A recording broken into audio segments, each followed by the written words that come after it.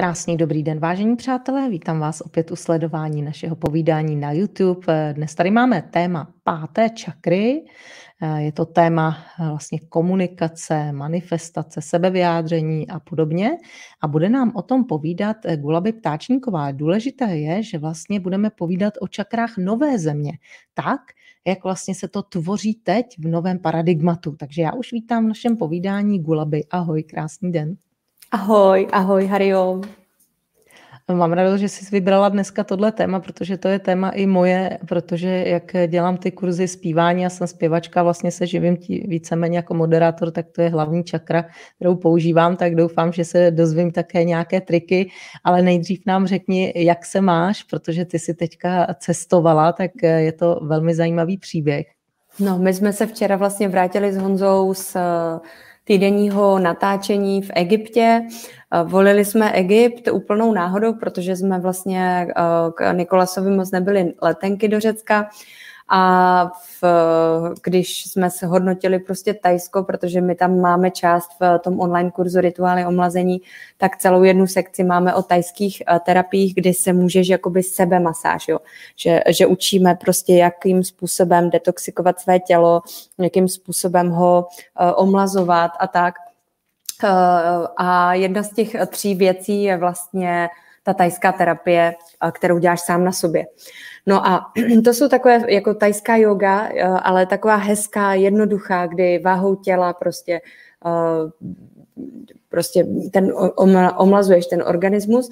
No a když jsme vybírali tu lokalitu, my jsme chtěli, ať to u moře, ať prostě lidi čerpou, protože teďka je taková doba, že ne každý má prostě na to finance cestovat, eh, nějakým způsobem nabrat do sebe i tu přírodu, protože teď se otevřely vlastně zase obchody a tak, lidi začali pracovat a na druhou stranu eh, tím pádem eh, když je teď léto a je hezky, tak eh, vlastně lidi budou sedět v práci, že jo.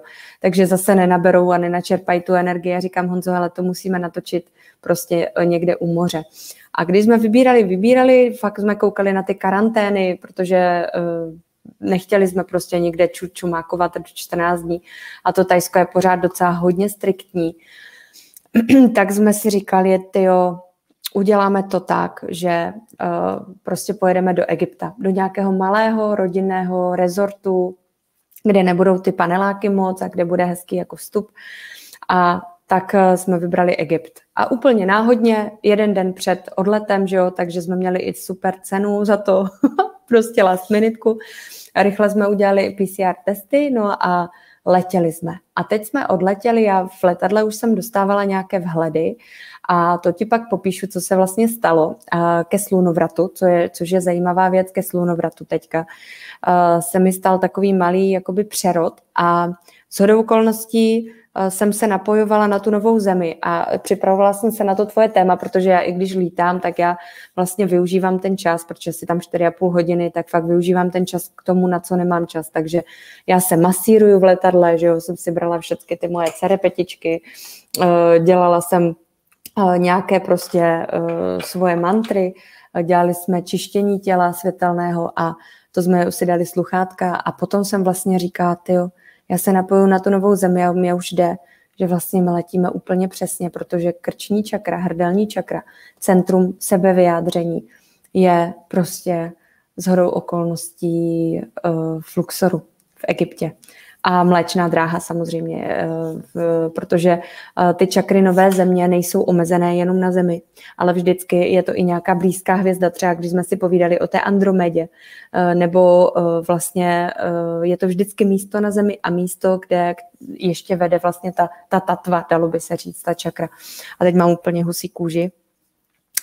Ah, takže to vede vlastně v Luxoru, vede to Egyptem a je to krční čakra země. Je to čakra země, eh, která bude velice podstatná a je velice eh, důležitá pro jako všechny ostatní čakry, ale ta Vishuddhi má takovou specifickou funkci, protože ty sama víš, že co všechno dokážeme vlastně v hlase vytvořit, co všechno dokážeme vlastně vyčistit, jakou sílu ten, ten hlas má, jakou sílu má ta krční čakra. Já dneska budu mluvit především o jedech, takže to bude docela sranda. to bude dneska srandovní vysílání, protože já se budu bavit vlastně i o tom, jakým způsobem ta čakra pracuje, co všechno dokáže a lidi, kteří mají rozvinutou tu krční čakru, tak co všechno vlastně si dokážou krásně uh, udělat a vytvořit, jo? protože je to i čakra manifestace. No a jedna z těch věcí, o které bych ráda dneska mluvila ještě s hodou okolností, tak jsme dostali pokoj, uh, který měl součet 16 a uh, což je číslo 7, tak já říkám, a tak jsme přece jen přijeli jakoby duchovně tady opravdu.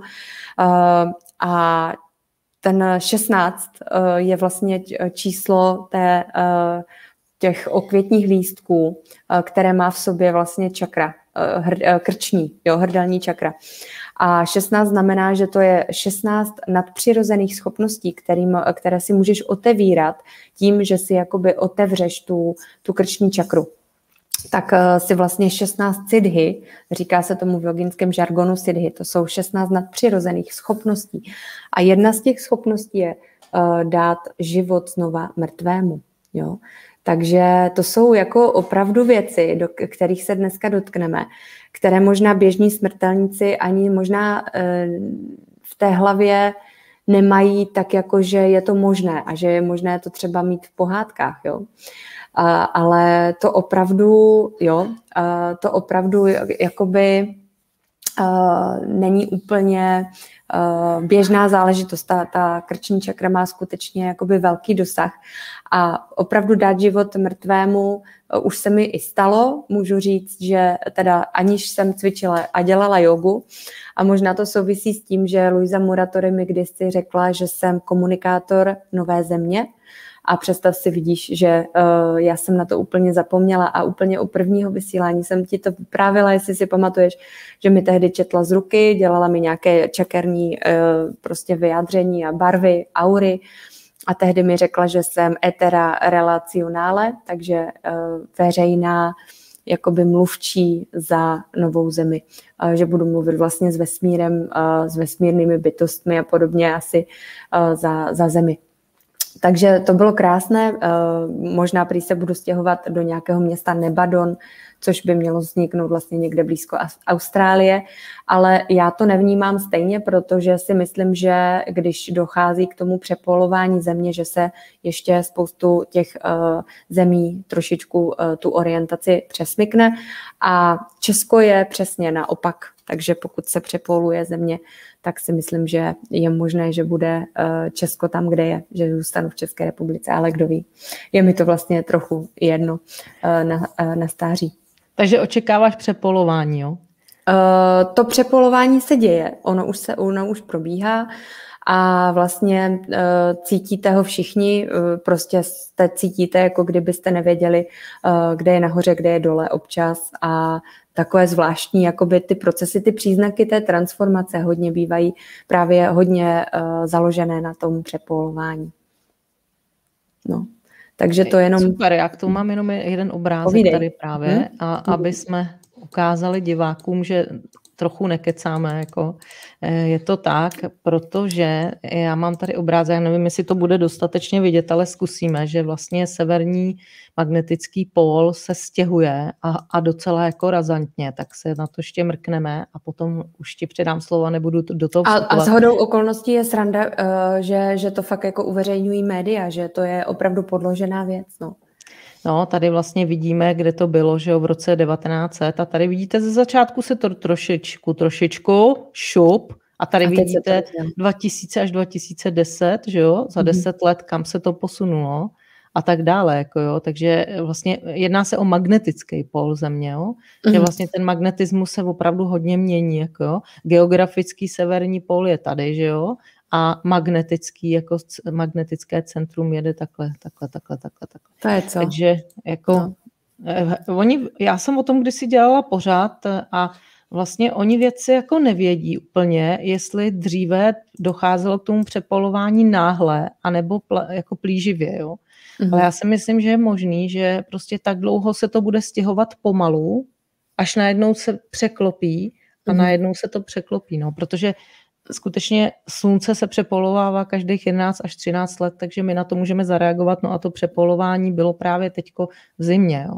Takže to není vzácný, že by si... A všimni si, zajímavostí toho je, že vlastně Eh, kdyby to šlo rychle, tak eh, pomřou, pomřou jako živé bytosti, jo? že my bychom neustáli ten tlak a opravdu by to lidské tělo nevydrželo, takže bychom poumírali.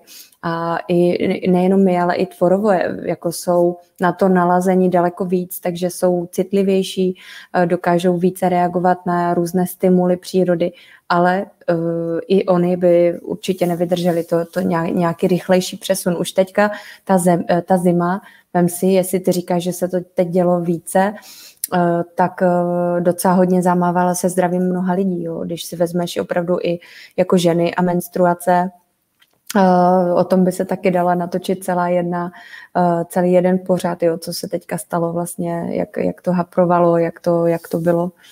No, takže jsou takové zajímavosti právě, které už i vědci naštěstí berou na milost a docela hodně se tím zaobírají, ale já ti ještě řeknu, než budeme se uh, věnovat úplně té vyšudhy k tomu slunovratu, protože z hodou okolností ta vyšudhy čakra uh, hodně, uh, hodně moc souvisí s tím, že my vlastně uh, dokážeme opravdu zadržovat jedy a zadržovat a do, docela hodně věcí, které je externích z toho starého Matrixu, které jsme převzali, tak hodně dokážeme vlastně jak kdyby kouzlit nebo tu vlastní realitu zmanifestovat jinak. Jo? A já se teďka dneska chci věnovat tomu, jak s tím slunovratem, že to není sranda, že jsme tam prostě jeli přesně těsně před slunovratem. A slunovrat vlastně bude už e, při otevírání třetího oka, takže slunovrat bude hodně zásadní na otevírání třetího oka. A na slunovrat my budeme přesně v Chorvatsku, ty taky. Jo, že to taky není náhoda. Já e, věřím tomu, že já mám, teď mám zase husí kůži, protože uh, ten eh, mořský cyklus, eh, ten, ten mořský vlastně eh, element toho, že jsme vlastně trochu doma, protože Chorvatsko je pořád součástí našeho doma.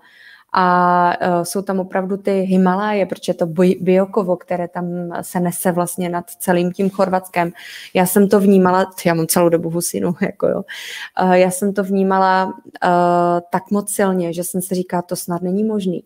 A představ si, že tématem, jak jsem se napojovala v tom letadle a vlastně meditovala jsem, tak mi přišlo uh, to ženství, zakázané ženství, které bylo a celou dobu potlačováno. Tak tímhletím slunovratem, jak teda minulý slunovrat, takhle jsme začali natáčet z okolností, to je taky sranda, že, že začalo natáčení a už, tak teďka Eh, se to celé vlastně týká ženského aspektu, což neznamená, že by to nebylo pro muže, ale je to pro ženy i muže a že to je vlastně uh, zakázané ženství. Konečně, Ježíš, ty si našla krásnou fotku.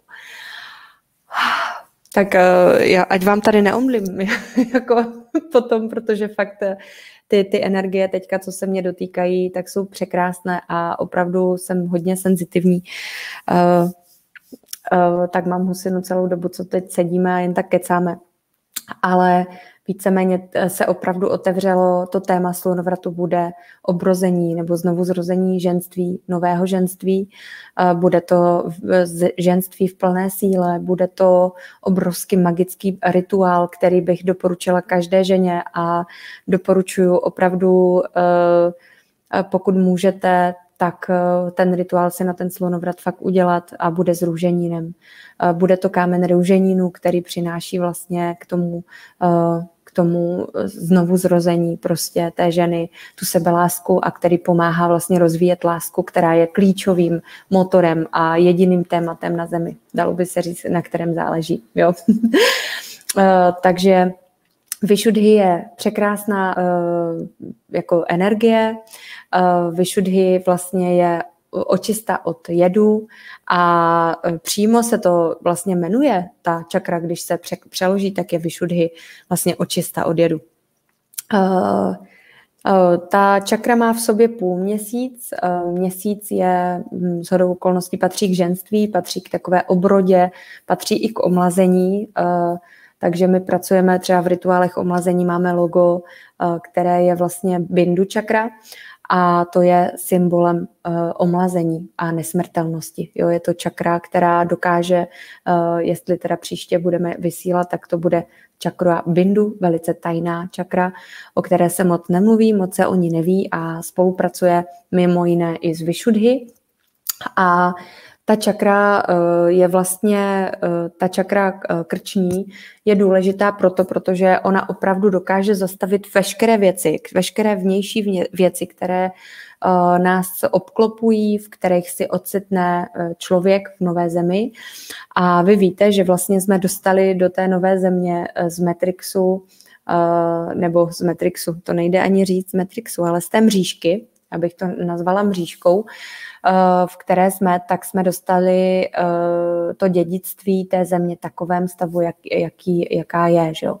Takže eh, my jsme nedostali zemi s, krásným, s krásnou přírodou, nedotčenou a se, s krásnými solárními panely, kdy žáden jed prostě tady nepriští ze země s neznečištěnou vodou a podobně. My jsme dostali zemi takovou, jaká je teď. Uh, a což znamená, že vlastně nová země se bude uh, absolutně bezpodmínečně, dalo by se říct, orientovat na to, aby uh, um, revitalizovala starou mřížku té staré země, jak myšlenkama, tak slovy, tak činy.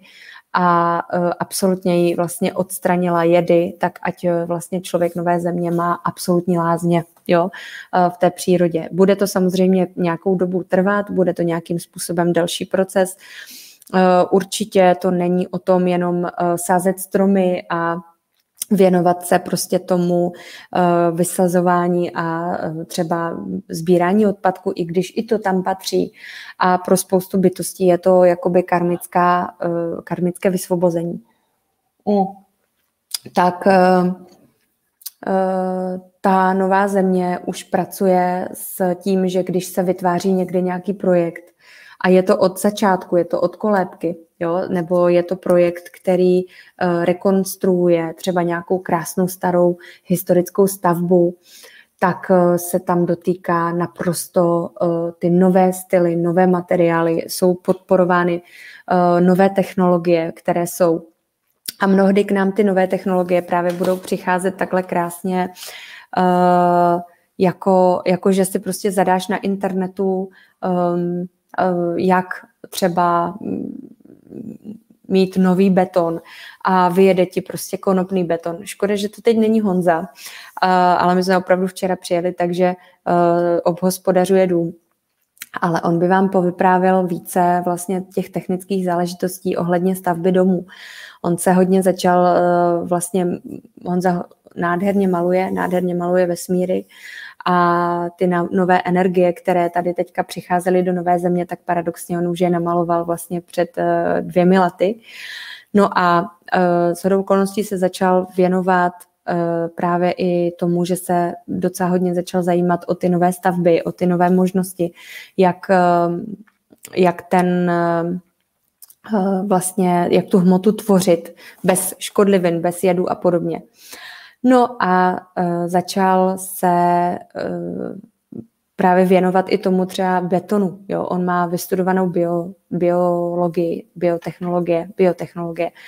A což v Česku ještě není úplně takový obor, který by byl oceňovaný. Třeba v Německu a tak dál, tam už uh, jako fakt lidi hodně fungují na, na těch nových uh, energiích, na těch uh, nových metodách, jsou úplně um, vtaženi zpátky do přírody. Uh, ale v, čím jdeš dál, čím jdeš dál prostě do toho uh, komunismu, postkomunismu, tak tam na to moc jakoby nebylo hleděno, což uh, není nic proti ničemu, že jo, tam zase měli jiné plusy, všechno má plusy a mínusy, ale uh, opravdu my jsme, uh, pořád je třeba mít na pozoru a na zřeteli, že Česko v tomhle není uh, globálně vzato Eh, z toho globálního pohledu až tak eh, vpředu. Eh, což je paradoxem, protože Češi zase mají na druhou stranu spoustu patentů a spoustu nových technologií oproti celému světu. Jo? Takže tady se skýtají zase takové ty, ty zvláštnosti toho, jak, jak jsou ty kontrasty, tak že Češi mají z toho globálu opravdu ještě nefungujeme úplně přirozeně, ekologicky a tak a jako, že řepka se stříká a včely umírají a tak dál, ale z toho z toho kontrastu máme eh, největší přístup a nejzajímavější jakoby nápady, eh, jak zpracovávat tu starou škodlivou energii, jak eh, máme patenty různé na ty nové technologie, takže to je úplně sranda, jo, že se dotýkají tyhle ty dvě krásné kontrasty tady spolu. Když bych řekla, co je zajímavé pro Egypt, uh, protože ta čakra nové země vlastně proudí Egyptem, Luxorem, uh, tak uh, to je určitě proto, protože ty nové technologie a veškeré ty znalosti ten Egypt měl. My jsme s Honzou četli knihy o tantře hodně od André von Lisbeta v tom Egyptě a e, bylo tam nádherně právě psané e, ty e, o Atlantidě, o těch starých civilizacích, jak vlastně využívali vodu. A o tom povodí Indu, který vlastně ani tu řeku nepotřeboval, že dokázal prostě si opravdu spravit krásně tu, tu zemi a nějakým způsobem tu vodu tam prostě dostávat bez toho, aniž by byla ta civilizace navázaná na řeku.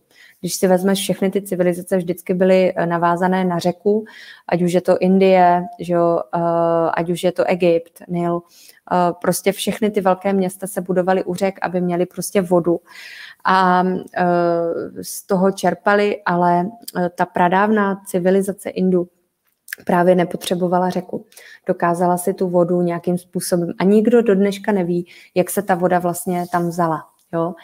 Eh, no a Luxor a Egypt má samozřejmě velký problém s pitnou vodou a s, s, s vodou jako takovou. A eh, my víme, že je opravdu vyprahlá ta země a tím, že ztratila ten potenciál eh, nebo že se ztratil z toho běžného vědomí a spadl někde do nevědomí a do podvědomí a možná i do utajení, aby je nezneužila nějaká síla, Eh, tak eh, ten Egypt vlastně funguje hodně teď tak, že eh, je opravdu vyprahlý a tu energii vám spíše bere. Jo? Ne, ten, nevnímám to tak, že ten Egypt teď je v té plné síle, kdy vám tu energii prostě dá.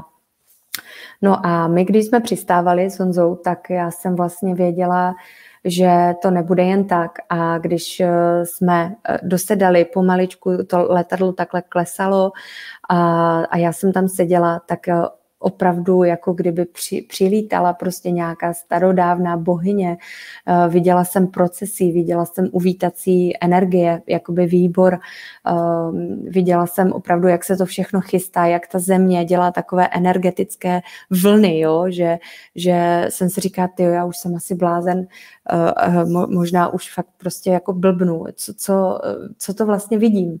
A nedokázala jsem si to uvědomit, ale když jsem se odosobnila od té Renaty, Eh, co hodnotí to, co vidí, tak jsem vlastně skutečně viděla, jak se tam ta energetická vlna tím mým přistáním eh, vlastně stala. Jo, že, že jakoby ten Egypt, jakoby se protnuly nějaké důležité body, jakoby čekala ta energie opravdu na tu fyzickou realitu, na, tu, na to fyzické potvrzení toho, že se, že se prostě spojily nějaké energie a mohlo se uh, prostě nějak, uh, nějaké ty energie, mohlo se něco dít. Jo. Takže tohle byl pro mě úplně největší jakoby uh, postřeh a asi nejsilnější zážitek z celého toho týdenního pobytu a uh, to přistání, jo, to přistání a to, jak, uh, jakam, jakým způsobem mě ta země vítá. A já jsem věděla, že pokud existovala Atlantida, tak určitě část toho Egypta tam byla. Ať, ať jsme to teda nenašli v žádných knihách ani v různých zahraničních literaturách, když jsme to vlastně s Honzou dohledávali, tak uh, jsme to prostě cítili, že určitě část Řecka a část toho Egypta, uh, že tam prostě tam, tam, ta, tam ta Atlantida určitě byla a byla teda o, větší, než si myslíme.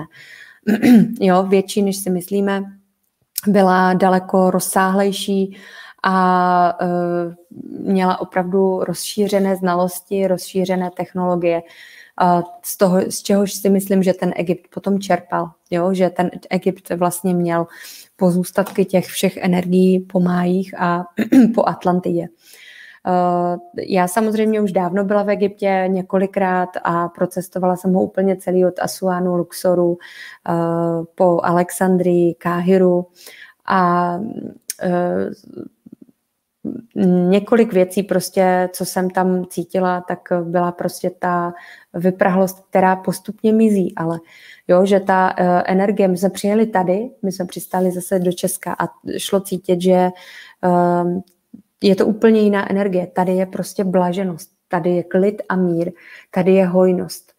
Uh, ať teda cítím to omezení, které cítím prostě díky covidu, tak uh, ta moudrost uh, a, a bla, blahobyt nějakým způsobem pomocí té přírody, té zeleně, kterou my tady máme, uh, je klíčová hojnost, asi bych řekla, protože v té vyprahlé poušti neuděláte vůbec nic. Vy se nenapijete, vy se nenajíte, vy nemáte jak vypěstovat vlastně zeleninu.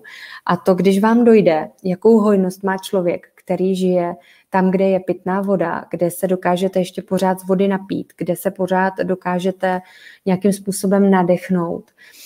Eh, nemáte tam prostě takové vedro, že by to vaše tělo bylo úplně prostě odstřelené. Tak to je eh, a vypěstujete si na kousku půdy ze semínek, anebo něco sníte prostě v tom lese, eh, to je prostě obrovská, obrovská jakoby hojnost. Jo. Ať, ať už vezmete třeba tu zimu, kdy zase je možnost udělat oheň a udělat si prostě příbytek, v kterém máte teplo a uh, i část uh, těch věcí uchovat z toho léta. V tom Egyptě je pořád kontinuálně prostě vedro a uh, vy tu možnost ani tu hojnost vlastně takhle nedokážete čerpat, ani, ani tu pránu nedokážete takhle brát. Jo. A to Ra, to je, já jsem říkala, přilítáme ze země slunce, vracíme se zpátky ze země slunce, ono to opravdu je země slunce, protože Bůh Ra což je eh, vlastně ráje eh, slunce, tak žije v Egyptě, že jo? je tam, jakoby ty energie tam pořád jsou, to je akorát prostě v tom čase, který vlastně neexistuje, tak je to trošičku poměněné s, v tom, že my vnímáme ten Egypt prostě energeticky, vnímáme ho jinak. Ten, ty východiska jsou prostě teďka jiné ale eh, všechny ty věci, které se tam děl, děli a eh, dějí, tak se na těch linkách, časových liních dějí stále. Jo? Takže ta moudrost nezmizela, ona akorát se někde zakryla, skryla za nějaký uh, další prostě bod, jo? ono se to vyvíjí. No, uh, krční čakra uh, vede vlastně tady krkem krásně, je to o jedno patro výše, než jsme si povídali o srdeční čakře, její barva je fialová, tmavě modrá až fialová, je to i královská modř. Taková ta egyptská modrá, bych řekla. Já bych ani neřekla fialová, já bych řekla, že to je taková ta, ta egyptská modrá prostě. Já ji na sobě ještě nemám, já, mám, já, mám, já jsem takové šaty zatím teda nemám, ale uh, dívám se tady, jestli náhodou nenajdu uh, tuhle barvu, ale zatím ji kolem sebe prostě nevidím. Je to taková temnější, uh, krásná modrá, která se hodně kombinuje se žlutou a je to taková egyptská kombinace, ta, ta uh, tmavě modrá a ta žlutá. Královská modř je přesný název a dokonce tahle ta barva je vlastně ponechána i nové zemi. Takže vidíte, že jsme hodně mluvili o tom, jak se vlastně mění některé barvy čaker, tak tady u téhleté eh, formy vlastně je, je to nové. Jo? Eh, je to teda stejné, je to eh, královská modř. Ten vládce té královské modře a celé té krční čakry je stále v andělské sféře archanděl Michael. Je to proto, protože je to opravdu vysoká čakra, už patří do těch vyšších čaker a bez téhle čakry by spoustu věcí vůbec nebylo manifestováno, vůbec by nebylo jakoby děláno. Jo. Um, Uh, takže když uh, si rozvineme samozřejmě tu krční čakru, tak uh, ty kvality toho archanděla Michaela dostáváme k sobě. Získáváme prostě sílu, odvahu, dokážeme odsekávat prostě některé jedy, které tady prostě jsou. Říká se, že ten archanděl Michael dává meč. Já bych to neřekla. Eh, já bych řekla, že on samozřejmě odsekává tu starou karmu staré země, to znamená závislosti, dokáže odseknout eh, především ty toxické vztahy. Eh, pokud máte jakoby problém s tady tím, tak je dobré žádat o pomoc stále toho archanděla Michaela a pracovat s ním. On dokáže nádherně vlastně to celé tělo na chvíli, na tu, na tu chvíli. Samozřejmě vy poznáním a úrovní vědomí si dokážete to spravit úplně, ale eh, když vám stoupne ta kundalini šakty třeba tady do krku, tak samozřejmě už je to úplně o něčem jiném. Ale takhle na tu krátkou chvíli třeba spolupracovat s Archandělem Michaelem, kdy on vám opravdu ty energie dokáže přinést a dokáže vás očistit.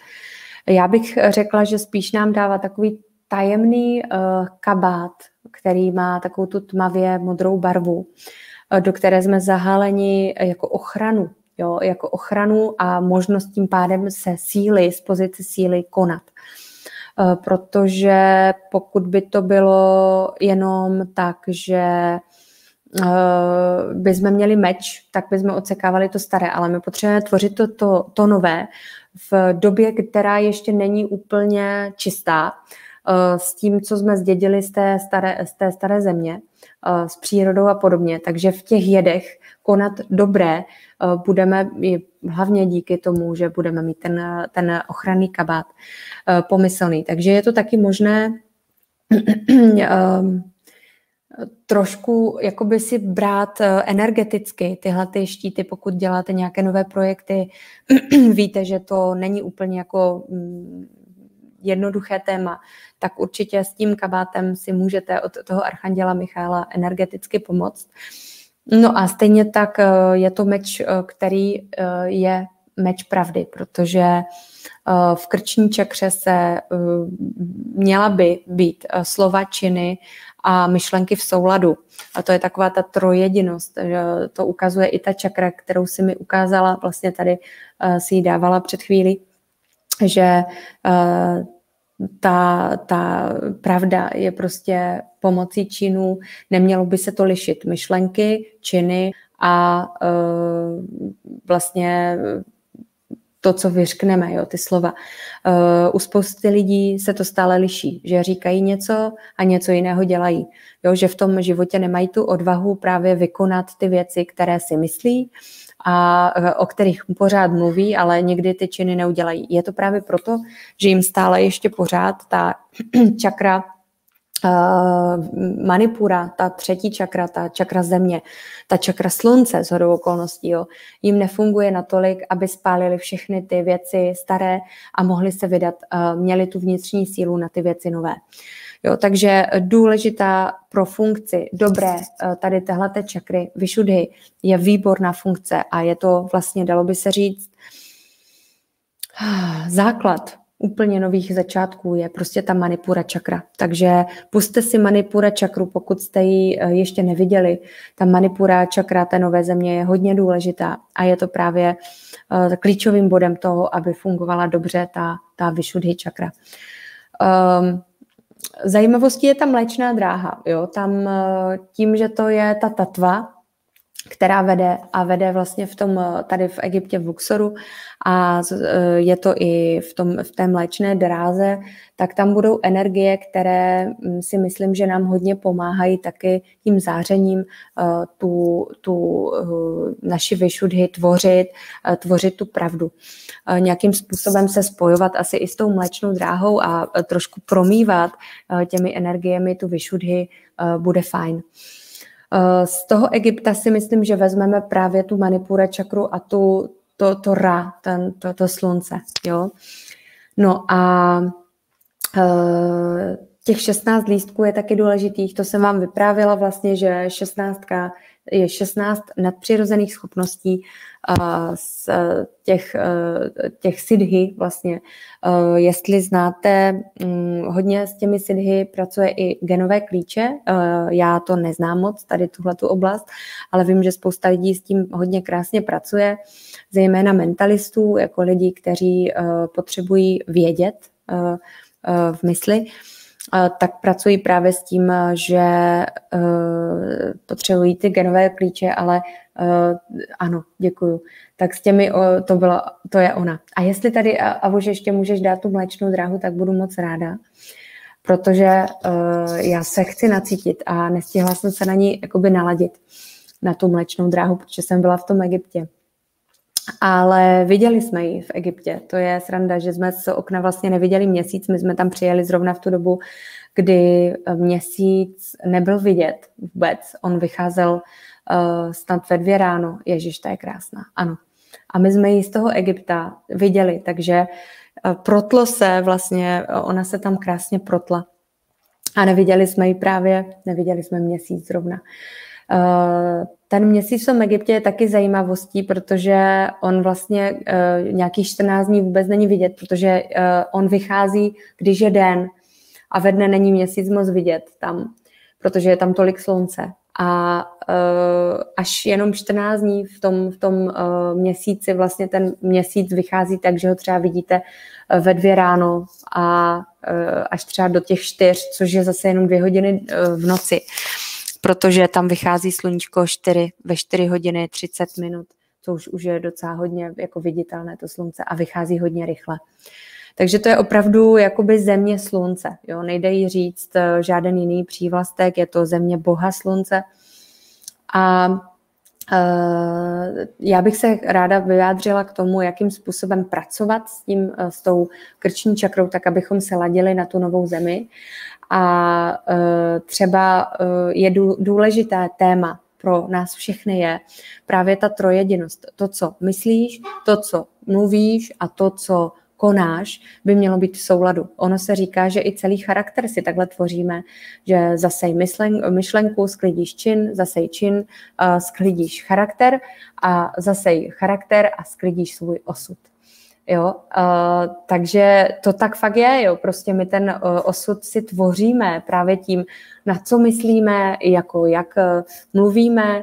A pořád uh, je to o tom, že my hledáme právě různé ty techniky, jak bychom to prostě obešli, tady to, ať, ať nemusíme myslet krásně, ať nemusíme prostě tvořit tím myšlením ty pozitivní věci, ať nemusíme čistit, ať obejdeme tady tuhle tu bolavou část. uh, na samotných a nechceme se koukat do toho zrcadla, jak se v nekonečném uh, příběhu kouká Atrej, Uh, tak vlastně já bych se ráda i zmínila o té meditaci, protože všichni chcou meditovat, meditovat, meditovat, aby získali takové ty krásné jakoby energie, viděli ty, ty, ty nádherné vize. A pak jsou zklamaní, protože vlastně buď to nepřijde vůbec, pořád myslí na ty svoje myšlenky, a nebo, um, nebo prostě to není takové, jaké si představovali. Ale ono to funguje trošku jinak. Uh, ta meditace by mělo být uh, především to, že se fakt koukáte dovnitř, koukáte se, uh, co tam uvnitř sebe máte, jo? Jak, jakým způsobem prostě fungujete, jakým způsobem, co, co ještě vy se dokážete dokonce naladit i fakt jako na tu, uh, na tu cestu svou.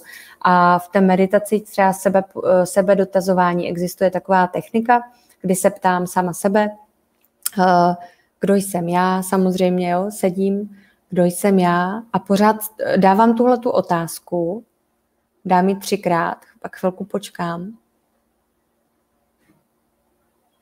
Jo, ladím se na prostor do třetího oka a zase po třech, nic třeba nepřichází, zase dám tři dotazy, kdo jsem já, a zase chvilku počkám. A můžu si pomáhat tím, že se třeba ptám, jsem toto tělo? Jsem moje mysl? Tak kdo jsem já? A zase chvíli čekám. Jo? To jsou takové jakoby jednoduché možnosti, jak se opravdu medituje. Uh, opravdová meditace začíná sebedotazováním. A uh, meditace vám přitáhne, uh, vytáhne hodně věcí z toho podvědomí a z nevědomí. Krásně ukazuješ tady ty, ty čakry člověka, já se k tomu hnedka dostanu. Když si vezmete, že vlastně v té první čakře máme nevědomí, jo, je tam nevědomí. Všechny věci, které jsme spolkli ve šudhy čakrou a oni spadly do nevědomí, tak spadly tady do té první čakry, ta nejtmavší červená. Jo? Tam oni, ano, tam oni spadly.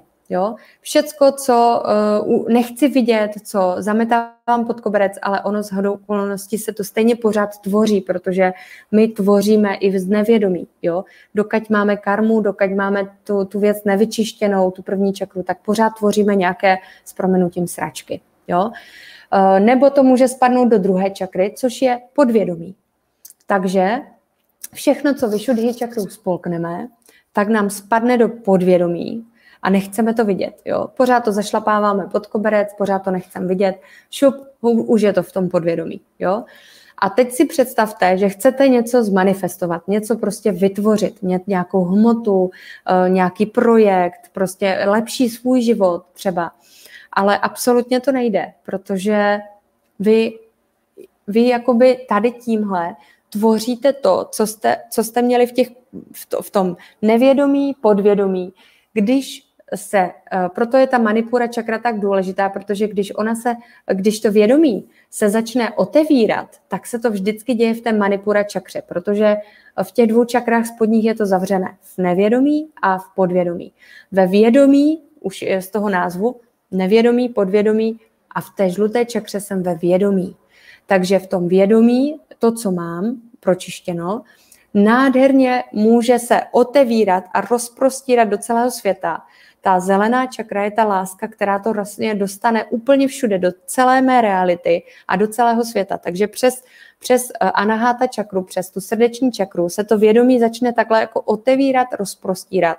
Začne to ovlivňovat moji realitu i reality druhých lidí, samozřejmě taky mými činy.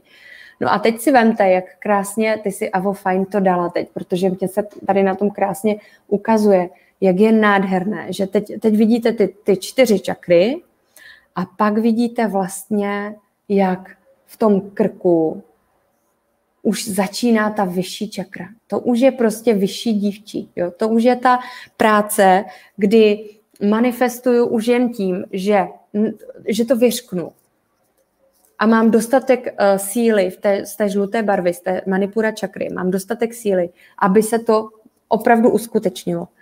A ta vyšudy, eh, všimněte si, že někteří lidé můžou tlaskat, povídají, hodně ukecaní, furt mluví, jo, prostě uh, povídají, povídají, ale nic z toho, co řeknou, se vlastně neuskuteční. A je to hodně o tom, že ta žlutá čakra, eh, že ta vlastně ta vyšudhy čakra, pardon, ta krční čakra nemá sílu z té manipura čakry. Ona s ní nemůže čerpat, takže všechno, co řekne ten člověk, může kecat cokoliv, ale nemá sílu v té manipura čakře a tím pádem se nic z toho neuskuteční. Jo, vy vlastně z hora pak budete brát uh, tu korunu, tu, tu, uh, tu božskou moudrost, která bude prostupovat vrchem vlastně a zároveň se vám pak prostě bude propojovat.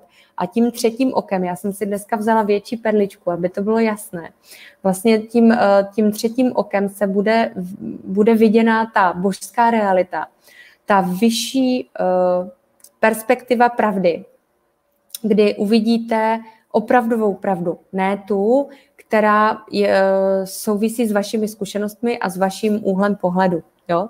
Takže vy, když budete mít pročištěné ty spodní čakry, budete mít sílu na to, to uskutečnit.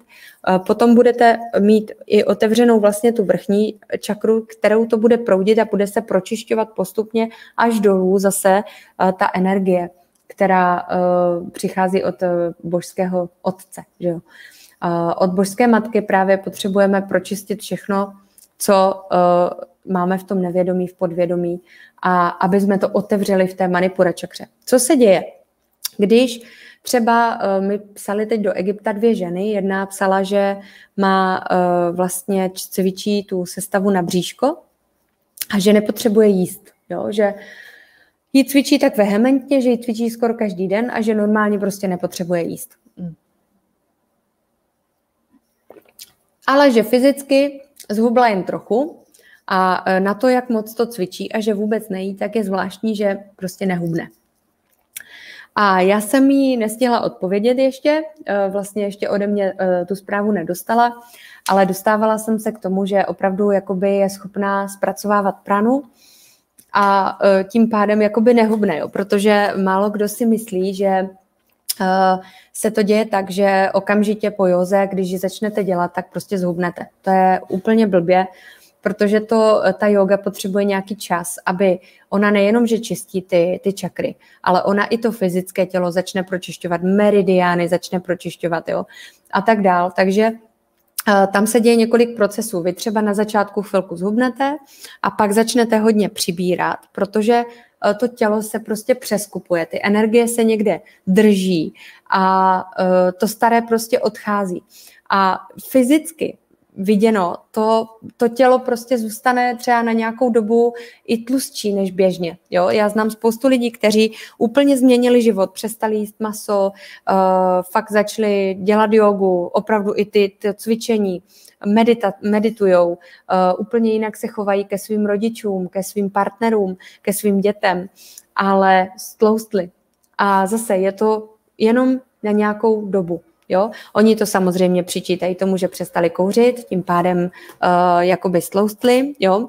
ale uh, to, to není o tom. To je o tom, že opravdu ta energie, toho, to, to, to tělo, ta inteligence toho těla jak spolupracuje s tou jogou a jak spolupracuje s těmi technikami, především toho očišťování, tak ona si potřebuje něco držet na nějakou dobu, aby to tělo to vůbec uneslo, jo? protože ty procesy se začnou dít, začne se tam fakt dít jako veliký přerod, veliká metamorfóza a než se to všechno uděje, tak to trvá prostě i několik let. Jo? Takže se neděste, že opravdu yoga není vždycky to, že rychle zhubnete. Ta opravdová yoga je, eh, že se přestanete koukat na ten fyzický vzhled, protože pro vás eh, nebude důležité, jestli máte prostě pár kilo navíc, ale bude pro vás důležité, jak se cítíte, eh, jak žijete a vlastně uvidíte to nitro, že daleko více třeba dokážete milovat sebe sama. Dokážete si dát daleko více prostoru pro sebe, kvalitnějších potravin, dokážete ctít přírodu, jste lepší lidi, jo. A začnou se vám samozřejmě i v tom životě dít zázraky. Začne se vám lépe žít třeba, jo. Začnete mít více možností a tak dál. Takže se vůbec nekoukáte, opravdu se časem přestanete dívat na to, jestli to tělo zrovna potřebuje být trošku, jakože udržuje tu světelnou energii, anebo prostě se splaskne úplně. Jo? Vůbec uh, to nejde podle toho ani odsledovat, Eh, protože když jste v procesu, tak jste v procesu.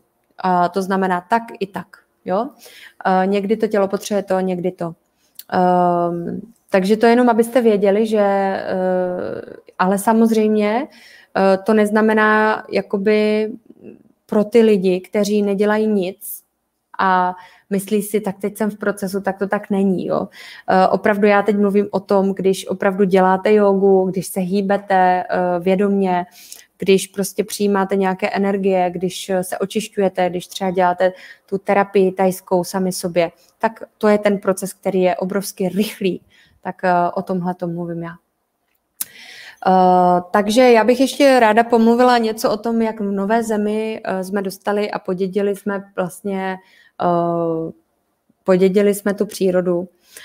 A o těch zázračných energiích. Eh, ty víš, Avu, že jsem nedávno vlastně přijala i eh, informace o tachionové energii. Tachionová energie je velice zvláštní. Dostala se tady už i na 60%, což je hodně. A my se bavíme o budoucnosti jako takové, jakým způsobem v Nové zemi budeme jezdit tak eh, já bych jenom ráda řekla, že to, co jsem viděla v těch vizích, tak je skutečně, že nebudeme jezdit už po silnicích, proto škoda toho betonu. Pořád se ptám Honzi, když vedeme diskuze, jakým způsobem prostě se dá ten beton recyklovat. Eh, existuje trochu, trochu jakoby možností na recyklaci toho betonu, ale uh, jestli můžete, tak už z betonu moc nestavte. Uh, daleko zajímavější je, jak Honza našel ten konopný beton. Vlastně teď se vyrábí, je už několik vlastně firm, které vyrábí eh, konopný beton, což je daleko eh, jakoby ekologičtější beton a zároveň si udržuje všechny kvality. Takže když stavíte nějaké nové domy, tak se na to určitě poptejte.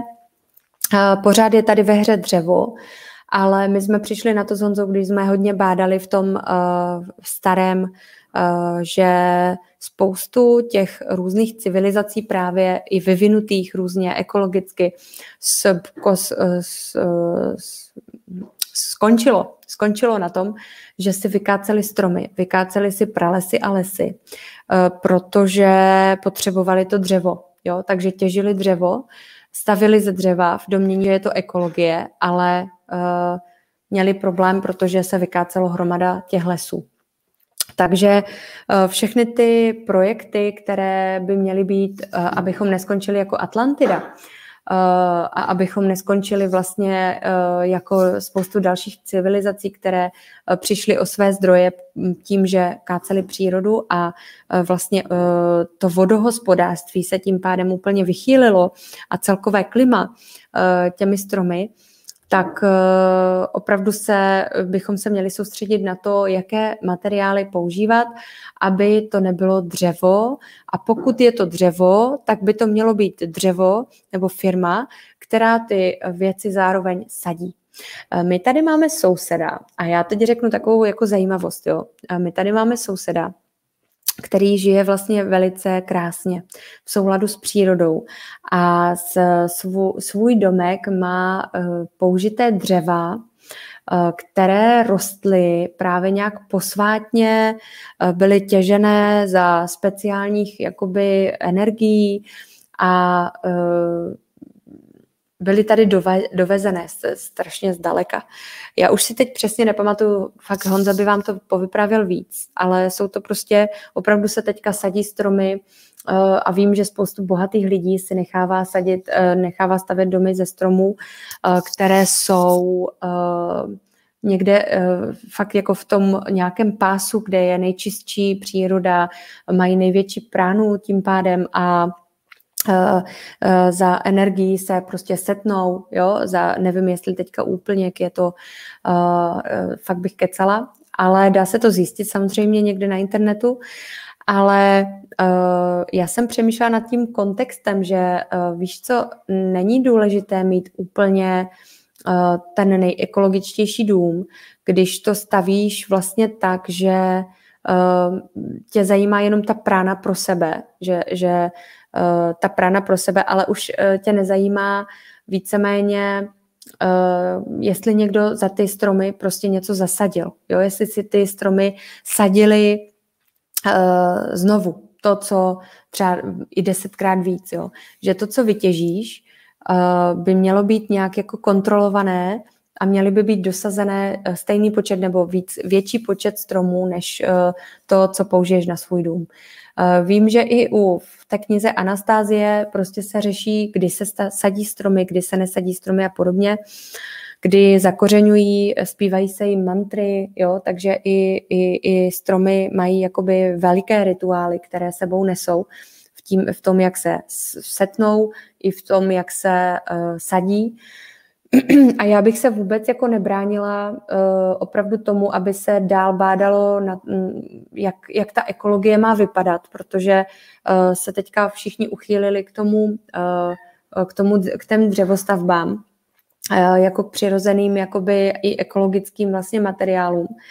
Uh, protože je to daleko ekologičtější než beton, který jako recyklovat je prostě šílenost. Ale já bych se fakt jako mrkla i na jiné věci, protože uh, i ten konopný beton a, a tak dál, jestli jakoby máme ve stavu ty lesy tak, aby tady prostě uh, nevznikla ta nerovnováha. My, když jsme s Honzou jeli do Chorvatska, to bylo 14 dní zpátky, nebo už teď možná víc, o trošku, tak eh, a pak jsme jeli z Chorvatska, tak jsme si všimli jedné věci, že vlastně eh, máme míň a míň lesů. Jo? V České republice je teda míň a míň lesů a ta, eh, dívali jsme se na prolesněnost a je to už daleko méně, než to bylo třeba před deseti lety.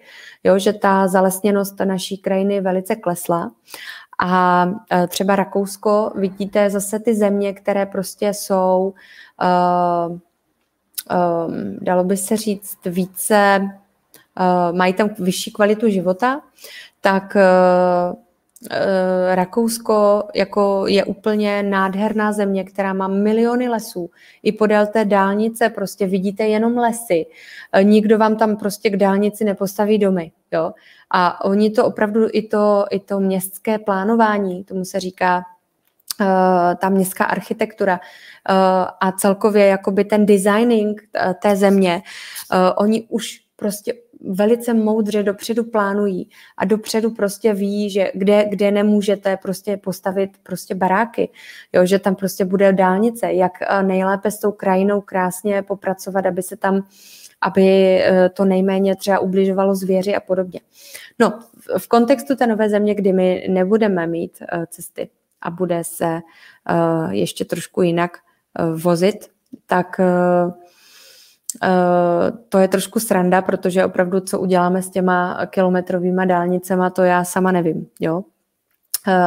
Na druhou stranu třeba bych se ráda i věnovala tomu solárnímu, solárnímu pohonu, protože už teďka vlastně je možnost si koupit Teslu. Můj kamarád si teď koupil Teslu a je z toho úplně odšťavený, ale říkám, pořád ale jezdíš na tu elektřinu. Pořád je to jako super Nikola Tesla, ale pořád to ještě není na solar, jo. A z okolností si s Honzou pořizujeme právě solární panely a ta firma, kterou jsme poptali, je velice vlastně proaktivní, velice inovativní a já jim říkám, hele, my budeme mít to větší auto, je možné, prosím tě, si do toho přitáhnout prostě uh, jako na pohon uh, soláry. A on říká, hele, ještě neumíme to, aby to jezdilo na ten solární pohon, ale už máme ty baterie, které vám tam do toho dáme a vy si tam díky tomu budete třeba, když někde zastavíte tím autem, eh, my to máme jako velké auto i na kempování, tak eh, je možné vlastně si tam topit, svítit, nabíjet a podobně, jo. pracovat vlastně z toho auta. Takže tohle to jsou věci, které prostě fakt jako zvážíte a říkáte si, hele, to, eh, podle mě budoucnost opravdu jako mm, je v té solární energii a v těch bateriích, které tu solární bat, uh, energii dokážou uchovat, ve větrné en- energii, která je tady taky dostupná. Ty jsi něco říct, povídej. Prosím tě, já jsem teďka úplně šokovaná, protože jsem našla tady tenhle ten článek. Přátelé v partě veselé, nizozemci představili auto, které může jezdit zadarmo. Na silnicích bude do dvou let. Takže to koresponduje, pozor, tím, to říkám. solární jo. automobil byl až do této chvíle pouze snem vizionářů. Vzniklo sice několik prototypů, žádný se však ani zdaleka nepřiblížil, až s nizozemským vozem Lightyear, uh, One. Možná přijde změna futuristicky tvarované auto, totiž podle svých tvůrců umí dobět akumulátor sluneční energií a na silnicích by se mělo objevit do dvou let. No, je to článek teda z roku 2019, jo, tak už aby to tady bylo teda, jo. Ale jo. tady je vidět, že automobilka nová, no, Lightyear, a tahle ta přináší tohle, ale já si osobně myslím, že skutečně k tomu ještě eh, v nějaký časové vrstvě přibydou opravdu auta, které se budou vznášet. Jo. Protože udržování hlavně těch silnic, jo, to je, to je strašně drahá věc a jako nebála bych se recyklace betonu, protože eh, ta příroda si s tím poradí. Jo.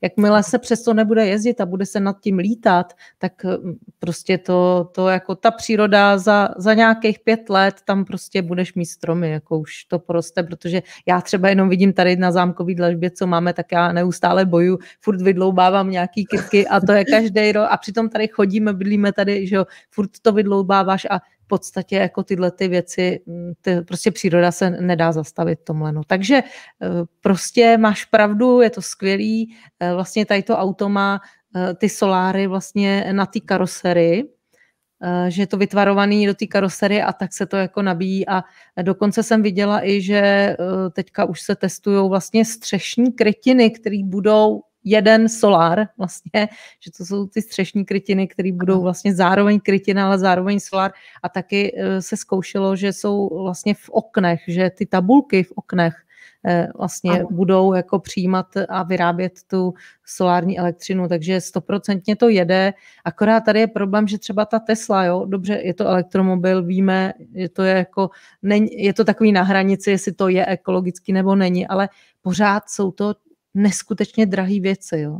Mm. Že prostě tyhle ty věci, které právě naopak jsou ekologické, tak ty mi právě by měly být levný.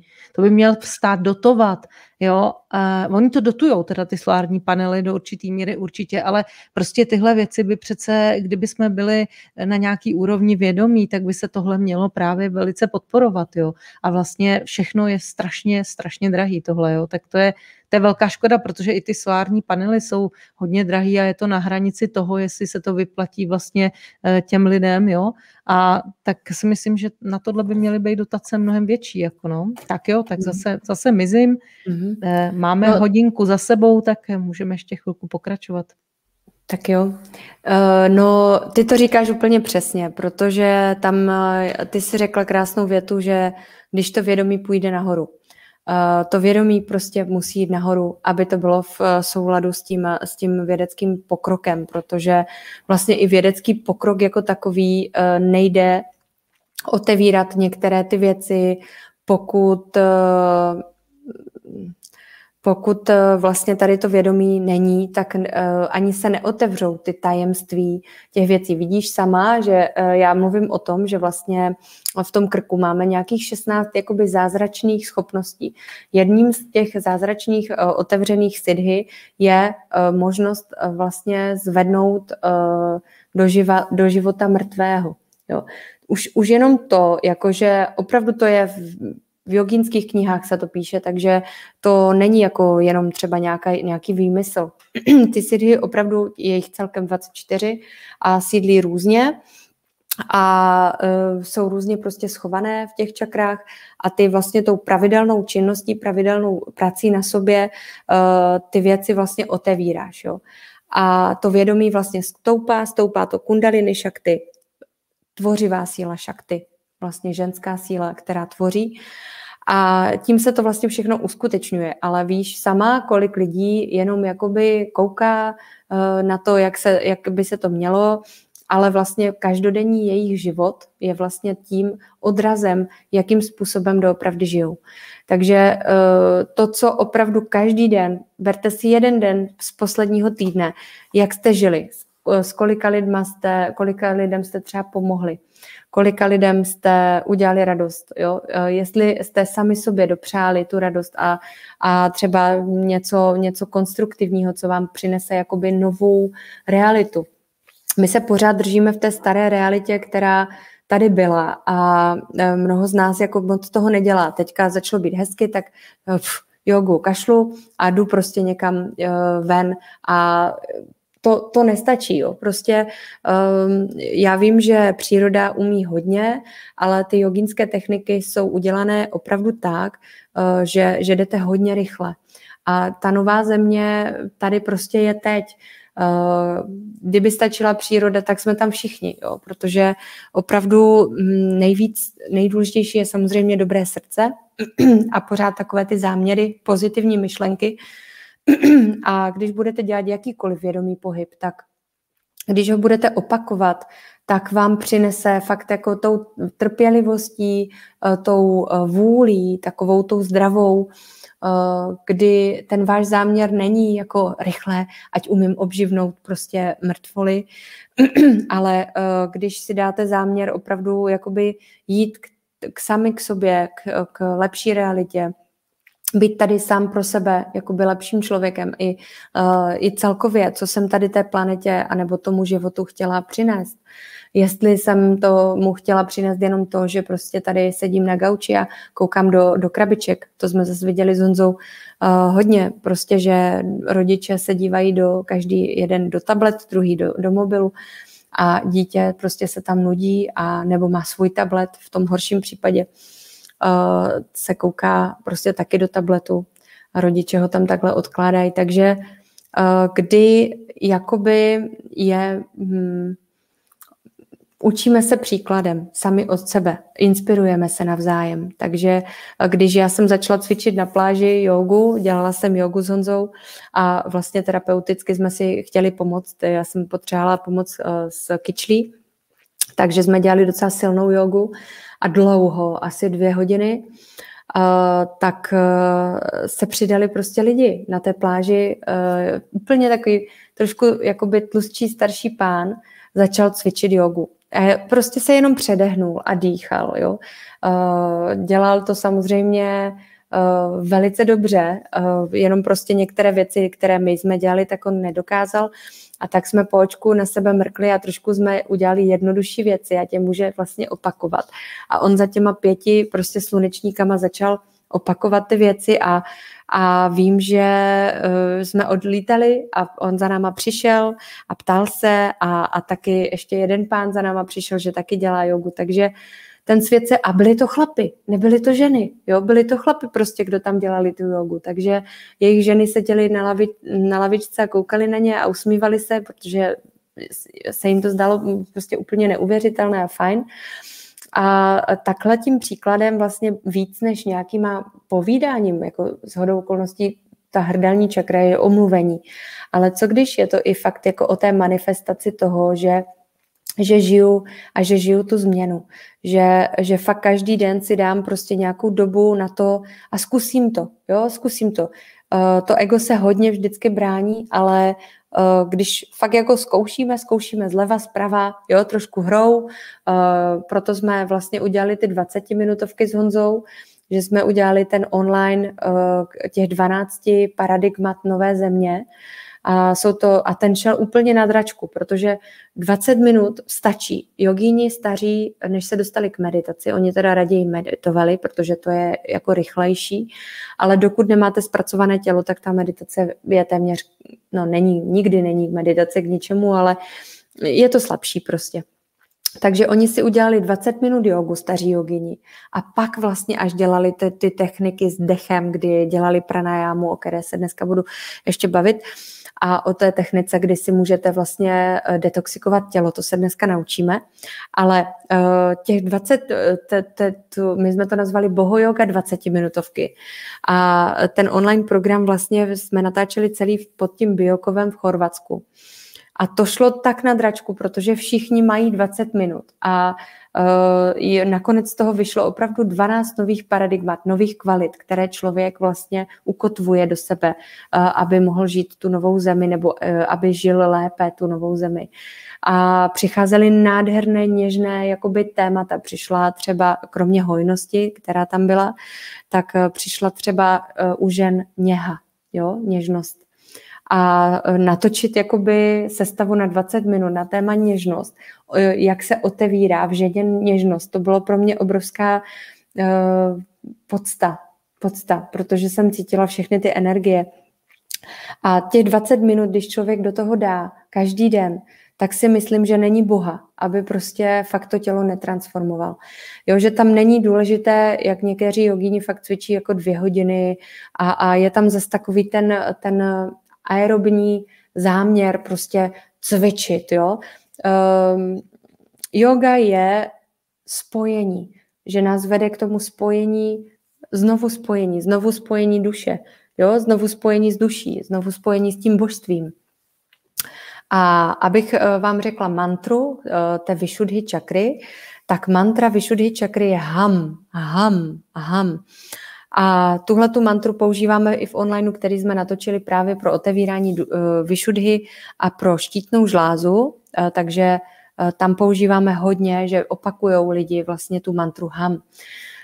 Já se dostávám k tomu tématu zvuku, protože zvuk je nádioga, a je to vlastně nejsilnější zvuk vesmíru a i když říkáte třeba om, tak uh, hodně jogínů takhle uspávají miminka nebo uklidňují, když pláčou, tak si je začnou zpívat prostě om.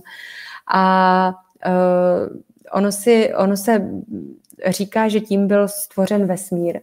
A e, různé takové jednoduché mantry by vám mohly pomoct na otevření vlastně té krční čakry. A samozřejmě, že je to e, i zpěv samotný. Ale dávejte pozor na to, co vyslovujete u těch písniček, protože ty písničky starého paradigma, které tady třeba byly, a já je mám moc ráda, tak já už je nezaspívám e, protože vlastně to, co oni sdělují, je sdělení starého utrpení staré země. Je to třeba od Čechomoru, mám moc ráda. o tom, jak někdo umřel a ty budeš litovat a tak dál. A to jsou ty staré programy, takže u písniček eh, si dávejte pozor na to a klidně si tam dejte svoje vlastní nové slova. Jo? Tam vůbec není problém přetvořit si písničku uh, i třeba od Čechomoru, tak aby byla úplně nová, eh, byla zachována ta melodie, ta, ten, ta hloubka, ale zároveň by tam bylo to nové paradigma. Jo? Eh, to, to je taková zvláštní věc, která mě teď prostě přišla, abych vám řekla, že si máte přetvářet slova písniček na nové paradigma. Ono i odčenáš, když vezmeš, tak jsou vlastně ten aramejský odčenáš, ten krásný odčenáš je už dělaný v novém paradigma a uh, už je udělaný vědomí, už uh, je udělaný vlastně v tom krásném kontextu a i ten překlad aramejský uh, je původně udělaný tak, uh, protože tam jde jenom o ten překlad, jak člověk chápe jazyk. Uh, a ve starém paradigmatu, ve staré době jsme chápali nějakým způsobem ten text a když se na to podívají teď vědomí překladatelé, tak ho pře, pře, přeložili úplně jinak. Jo? No, takže u zpěvu a zvuk má největší sílu, eh, když eh, zvuk a samozřejmě patří tam i dech. Když hodně lidí dělá jogu, tak se vlastně jsou první překvapení, že pořád po nich chce ten instruktor jogy, aby dýchali. A my jako lidstvo obrovsky málo dýcháme, hlavně západní svět. My jsme přestali dýchat, i možná i proto, že hodně mluvíme že tam je ta nerovnováha toho ticha a toho mluvení. A uh, žijeme jako rychle. Nemáme tam tu pasivitu, ten ženský princip, protože je to tady nastartované na ten patriarchát a všecko má výkony, všecko má prostě nějaké cíle, uh, má to nějaké tabulky a šablony. A ta žena, i, i v kontextu toho slounovratu, jo, je, to, ta žena je um, iracionální Ona je iracionální, je emoční, ale ne tak, že by jako třískala těma emocema uh, o všechny zdi, ale má je uzdravené ty emoce a je, je tam plno soucitu, je tam plno lásky, je tam plno nelogičnosti, dalo by se říct. No a ten svět, uh, a tak má čas na nádech, protože se nadechuje vědomě a na výdech vědomě. Jo? Ale v tom patriarchálním uh, uchopení společnosti, v jakém žijeme teď, tak je ten tlak na, tu, na to. Uh, I písničky, co, ži, co hrajou na pláži, jsou jo, co, čím rychlejší, tak, tak tím víc vlastně třaskavá energie a uh, není tam moc prostoru právě pro tu, ne, pro tu um, řekla bych i možná erotičnost ženy, protože i ty ženy, které potkáváš pak eh, v běžném životě, tak jsou hodně chycené tím mužským způsobem. A ten slunovrat teď, co přichází, tak je vlastně hodně napojený na ženský princip i v mužích, aby se i v mužích otevřelo a vidíš a cvičili dva uh, na jogy. Jo, takže jasně. Takže tam je důležitá věc, že ta Vishuddhi čakra, aby se skutečně rozvibrovala, tak my potřebujeme udělat několik technik. A jedna z těch technik je Ujjayi pranayama. Ujjayi je to detoxikační hadí dech, dalo by se říct, kdy my uh, zúžíme hlasovou štěrbinu a úplně ji jako by jsme dýchali při přiškrcené uh, hlasové štěrbině, i nádech, i výdech je velice pomalý. Nafukujeme bříška, ale vlastně uh, vydáváme uh, při nádechu i výdechu písmenko H. Takže očišťujeme během jogy a nebo jako samostatné cvičení, kdykoliv můžete, tak si pročistit vlastně tu vyšudhy čakru takovou jednoduchou věcí, jako je ujjayi dech. Takže zavřete si ústa uh, s hlubokým nádechem. Mm. Slyšíte to písmenko H, říkáme písmenko H uvnitř. Mm. Mm.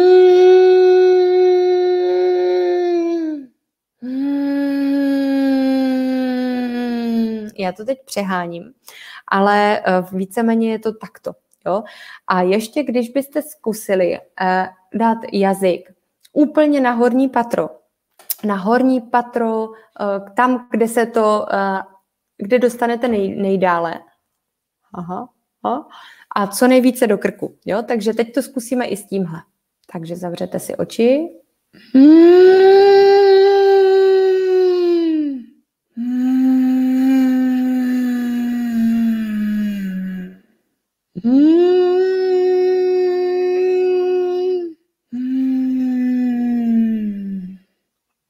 Když takhle budete dýchat, eh, budete mít úplně úžasný hlas.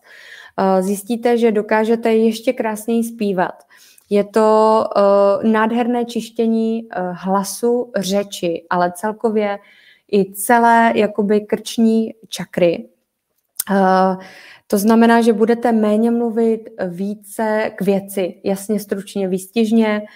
Uh, budete mluvit, uh, budete trošku více napojení nahoru, takže budete mluvit trošku více k těm věcem, které jsou důležité z božského hlediska a uh, budete jakoby opravdu umět i zpívat, jo, prostě z ničeho nic zjistíte, že umíte lépe polohovat hlas, lépe uh, pracovat s, se vzduchem, s dechem. Uh, a to není vůbec všechno, jo, to jsou jenom ty zajímavosti, které třeba se týkají hlasu.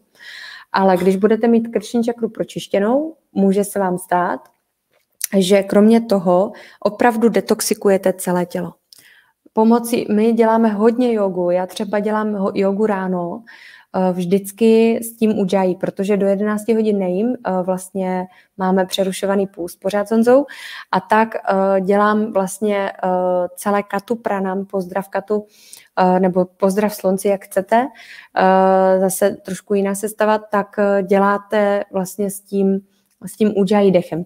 A v těch boho 20 minutovkách to taky vlastně najdete, tu práci s tím ujají a myslím si, že jsme to dali i do hubnutí a detoxu.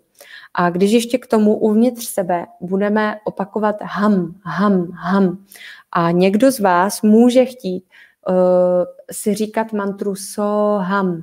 Soham dokonce otevírá třetí oko, jako byste říkali, já jsem Bůh. Jo? Uh, Soham je obrovsky silná mantra a víte, vidíte, že obsahuje tu mantru ham, takže Soham, já jsem to. Takže uh, pojďme to zkusit všechno. Uh, jazyk na patro můžete mít i tuhle tu mudru, ale ještě zajímavější je, pokud nebudete říkat soham, tak můžete dát detoxikační mudru. Tohle to je mudra detoxikace, že tam položíte vlastně palec mezi prosteníček a prostředníček a jenom si ho necháte takhle na kolenou. Ale pokud budete opakovat soham, tak byste mohli si dát krásně ruce do džďana mudry, dejte si dlaněma nahoru, zavřete si oči, dejte si uh, jazyk na horní patro. A teď budeme dýchat uh, zase se s úženou hlasovou štěrbinou, jako by jsme nadechovali s písmenkem H a vydechovali s písmenkem H a uvnitř nám jede mantra soham s nádechem a soham s výdechem. Takže jdeme na to.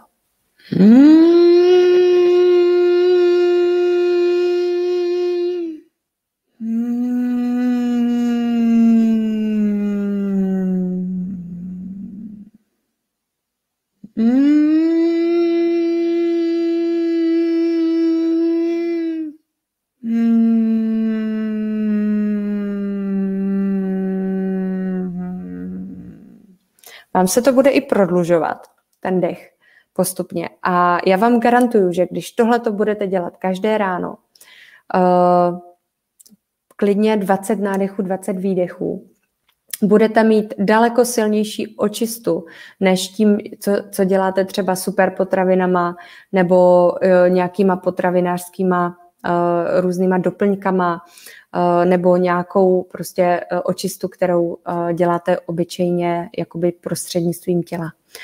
Tohle ta očista dechem je obrovským silným nástrojem a já bych to klidně viděla na to, že si pak odcvičíte celý pozdrav slunci a nebo pozdrav měsíci, který je ještě silnější detoxikátor.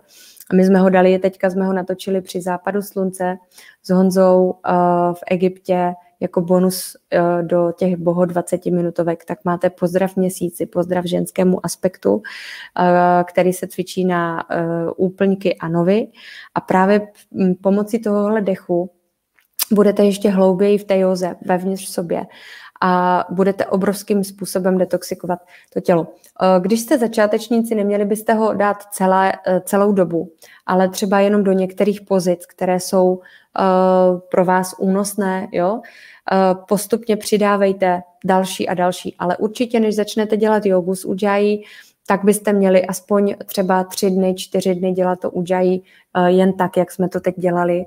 A nezapomeňte vždycky ta mantra Soham, a budete úplně žít jinou realitu. Já vám garantuju, zkuste vydržet měsíc a uh, budete žít úplně jinou realitu, jiný, jiný stav. Budete zažívat úplně jiné věci.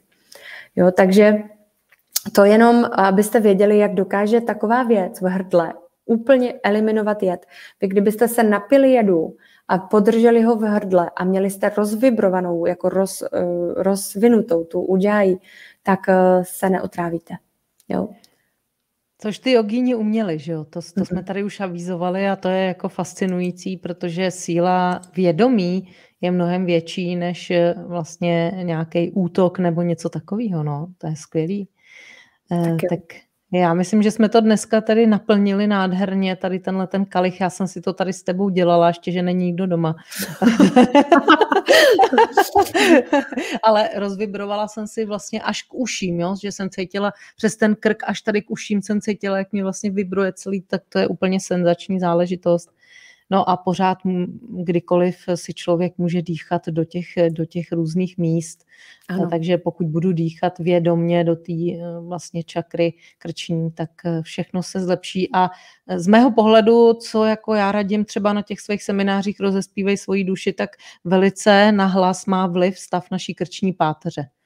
Ano. No, že prostě, když máme zatuhlou tu krční páteř, tak prostě nezaspívám ani hoří, takzvaně, jak říkal můj ano. bývalý kapelník. Jo, takže. A ono totiž má hodně velký význam ten jazyk, to je uh, takzvaná kečary mudra. A ten jazyk, když dáš nahoru, tak ta bindu čakra, o které se budeme bavit příště, já se o téhle technice roz, rozvyprávím příště v té bindu, tajná čakra, opravdu tajná čakra nesmrtelnosti, protože my jsme rituály omlazení, že jo? A ta vlastně uh, potom se ten, ten amrit, ten, co, co padá ten mok, tak se zadržuje pomocí téhleté techniky. Tak jenom ať se můžou těšit na příště, že se budeme bavit o bindu čakře. Určitě, to jsem právě chtěla, aby jsme trošku pozvali, takže vlastně třetí oko, šestá čakra. A... Ne, ne, ne, to, ne. to právě ne, to bude ta bindu. Příště bude no, ta takže bindu. Takže vynecháme. Eh, teda. Uh, to, bude až, to bude až přes příště, ta, ta čakra eh, třetího oka. Nebo to můžeme udělat jakkoliv. Ještě no, se domluvíme, jasně. co přijde. Jo? Aby jsme se nezmátli vlastně v těch eh, védských názvech, no, že ano. bude to tedy sedmá čakra, tak napojení ano. na zdroj. Uh, to právě nevím. jsme se teď úplně... Tady jich je totiž strašně moc ještě těch čaker, jo. A no, tak ta... to nebudeme předbíhat. Tak, tak nebudeme nalákáme. předbíhat.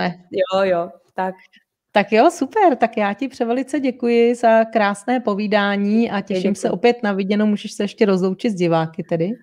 Já ti moc děkuju, prostě je to nádherné a uh, cítím, cítím, uh, jak uh, to má krásně význam, jak se to propojuje i s tím Luxorem, viděla jsi ten, ten, ten, tu náhodu, která neexistuje. Takže já hariom a děkuji moc a přeju krásné Chorvatsko a slunovrat. Tak jo, tak tobě také a přeju, ať se tvoje dílo daří. Krásný den, ahoj. Krásný den. Tak přátelé, eh, já jsem ráda, že jste nás sledovali, jsem ráda, že jste eh, nám dali svoji pozornost. Doufám, že si z toho, co jsme dneska tady povídali, hodně vezmete, že to pro vás bude naplňující. No a každopádně eh, já bych ještě chtěla pozvat naše diváky, že si můžete zakoupit vstupenku na náš dvoudenní festival, který se bude konat 7. až 8. 8. v Praze, 10 v Kolovratech. Je to vlastně takové transformační letní setkání.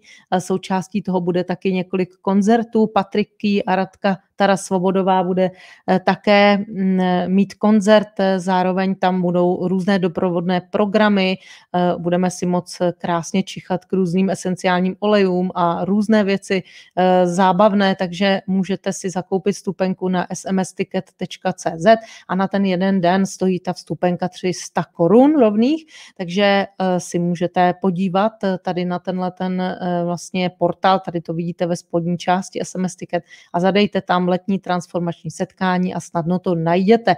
No a ti, kteří si zakoupili stupenku na, na akci, která měla být tedy 20. kolem 25. října 2020 a tak jim ta vstupenka platí, takže se na vás budeme velice těšit.